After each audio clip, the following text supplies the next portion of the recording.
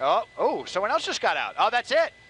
All right, and as if travelers needed more of a headache, there was this last night. A man led police on a chase through holiday traffic, allegedly in a stolen Ooh. car, yeah, between Temple City and South Gate, Sky 2 overhead, right near the beginning of this pursuit when the suspect went up um, an off ramp on the 10 freeway in Rosemead. Three passengers then bailed at one point. The driver eventually jumped out of the vehicle while it was still moving and disappeared into a neighborhood. Police say they never found the suspect and they actually stopped this chase several times out of public safety, safety for the public because it just is too dangerous.